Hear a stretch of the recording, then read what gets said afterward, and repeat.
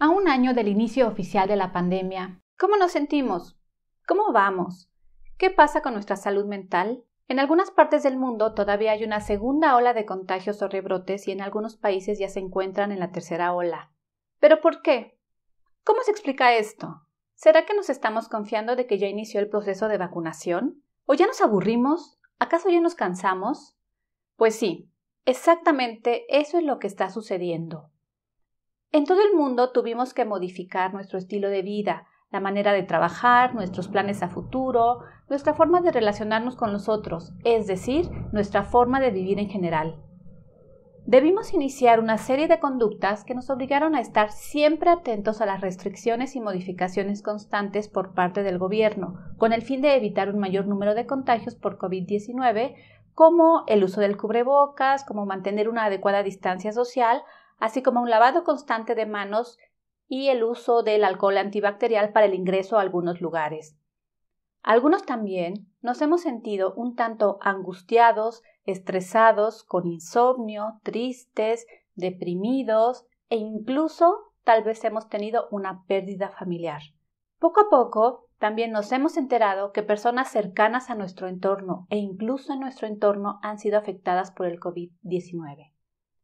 En octubre del 2020 muchos países reportaron un considerable incremento en la fatiga pandémica. ¿Pero qué es esto de la fatiga pandémica?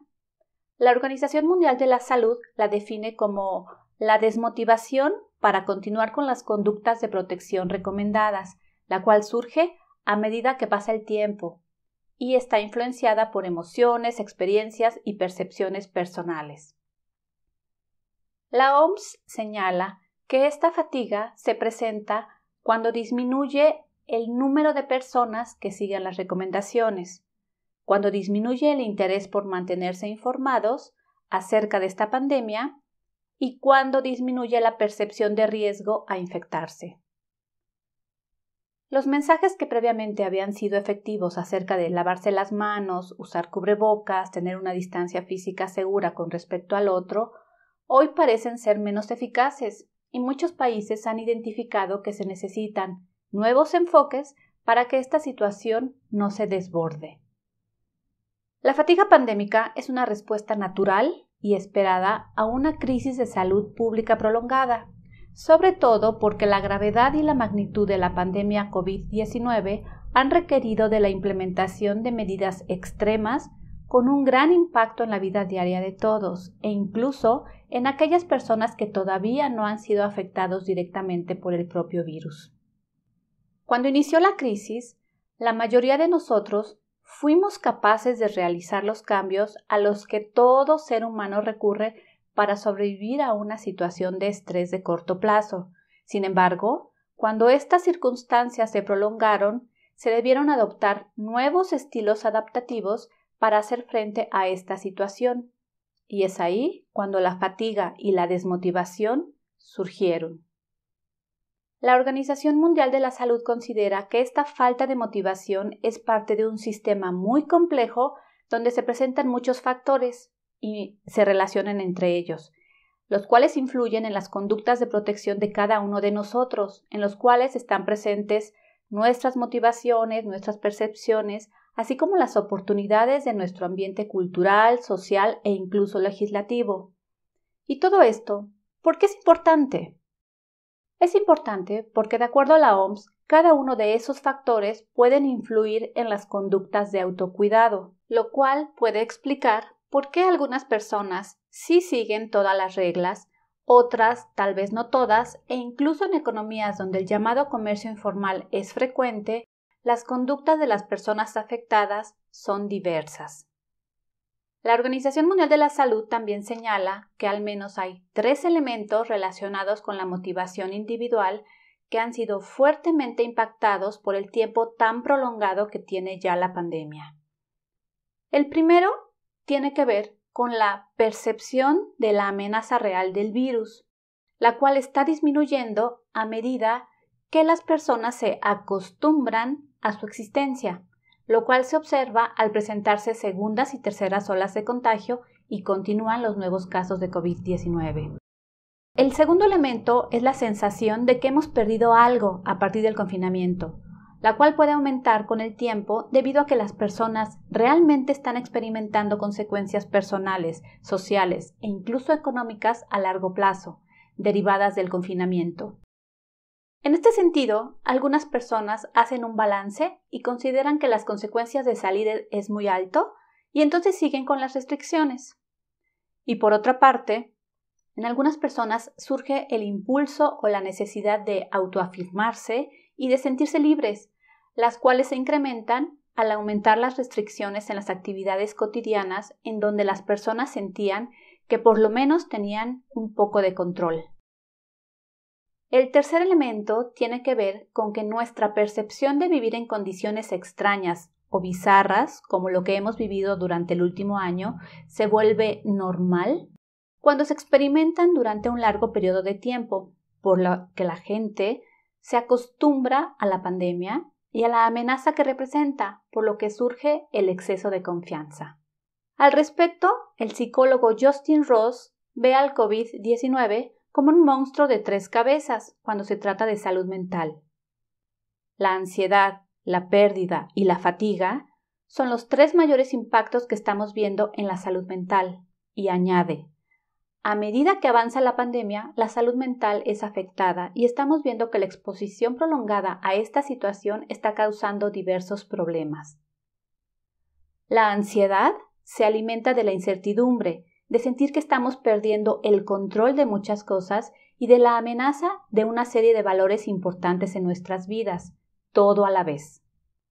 Paul Nestad profesor en el Departamento de Psiquiatría y Ciencias del Comportamiento de la Universidad Johns Hopkins, define la fatiga pandémica como el cansancio que se puede sentir después de meses de pasar mucho tiempo extra e invertir toda nuestra energía haciendo frente a un estilo de vida donde todo gira en función de la pandemia y a las consecuencias que nos ha traído consigo.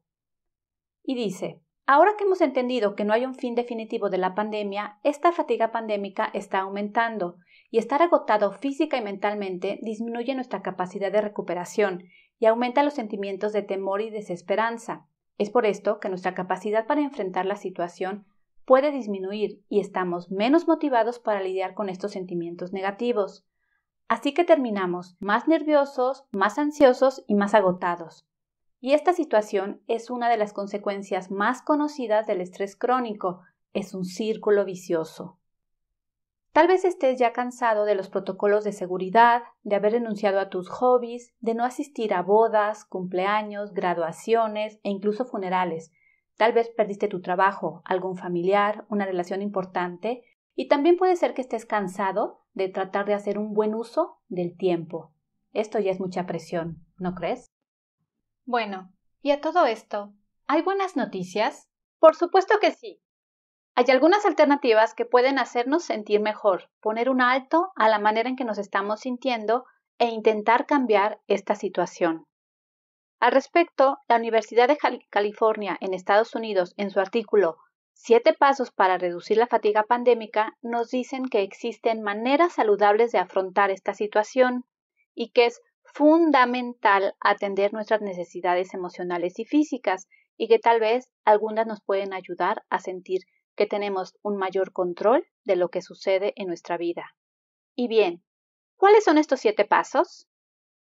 Número uno, el autocuidado. Es fácil olvidarnos de ponernos atención, cuidarnos en general. Y en esta época, esta situación es muy frecuente.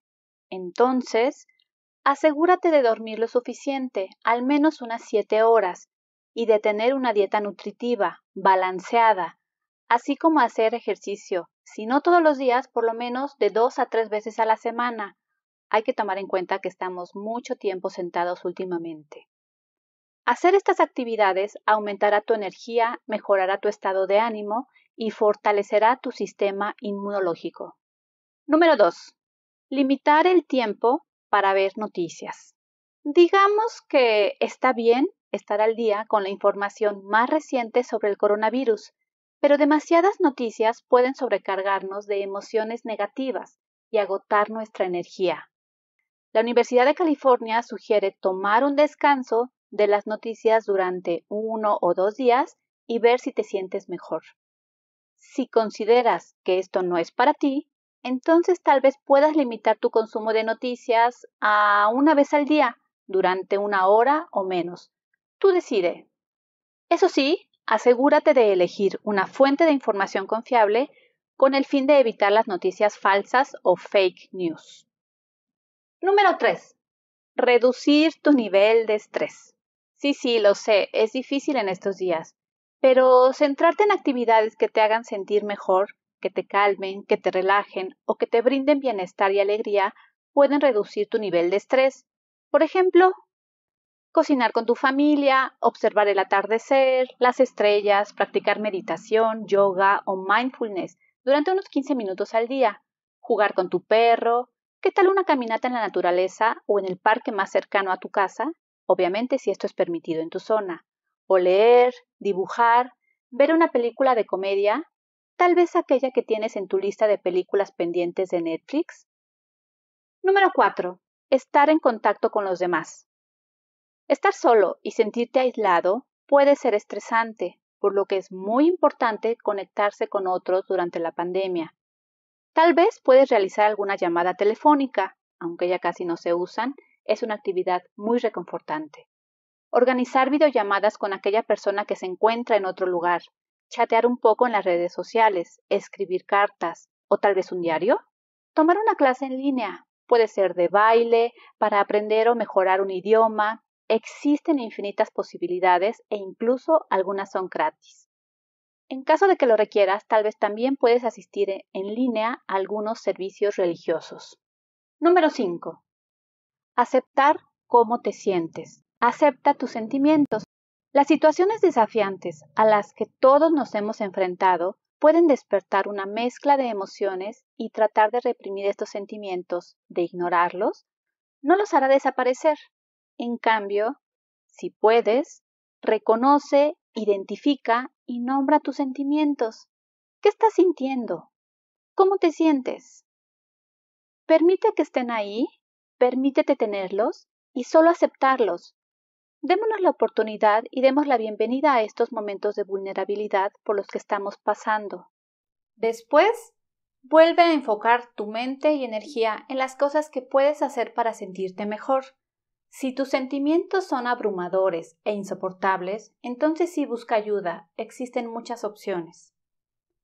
Proteger tu salud emocional es tan importante como cuidarte físicamente, aunque lamentablemente no estemos acostumbrados. Número 6. Trata de tener un diálogo interno positivo.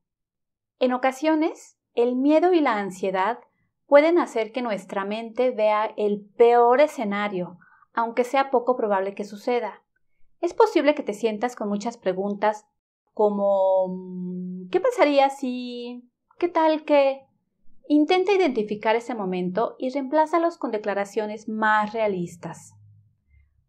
Por ejemplo, puedes reemplazar tus pensamientos o preocupaciones acerca del COVID-19 con las estrategias de lo que realmente estás haciendo para mantenerte bien, sin riesgos. Número 7. Crear nuevas tradiciones. Dale más alegría a tus días creando nuevas tradiciones, que sea algo divertido. Incluso podrías decidir continuarla una vez que haya pasado la pandemia. Por ejemplo, puedes utilizar, no sé, los domingos por la noche para tu cuidado personal. ¿Qué tal una mascarilla? Mm, prender un incienso, o empezar a leer ese libro que tanto querías y que ahora está esperándote. Haz cualquier cosa que te haga sentir bien física, mental o emocionalmente. Tal vez iniciar un pasatiempo como tocar la guitarra, hacer un álbum de recortes, o puede ser el itinerario de tu próximo viaje, salir a correr, etc. Para socializar, Puedes convertir el viernes en tu noche Netflix de cine familiar o hacer un picnic en línea en el patio de tu casa todos los sábados. También puedes organizar un cafecito virtual o en línea con tus amigos y probar un nuevo vino, hacer un club de lectura. Seamos creativos. Bien, lo importante aquí es saber que lo que te está sucediendo tiene un nombre que no eres el único que lo está viviendo y que realmente existen alternativas para sentirte mejor. Recuerda que lo que sientes está bien, es completamente normal como consecuencia de lo que hemos vivido y seguramente ya falta menos tiempo para que podamos retomar un estilo de vida evidentemente distinto a lo que teníamos, pero que podemos enriquecer con algunas cosas de nuestra vida anterior al COVID. Seamos pacientes y bondadosos con nosotros mismos. Cuídense mucho y si piensan que este video puede ser de utilidad a alguien que conocen, por favor compártanlo. Muchas gracias y nos vemos en el próximo video.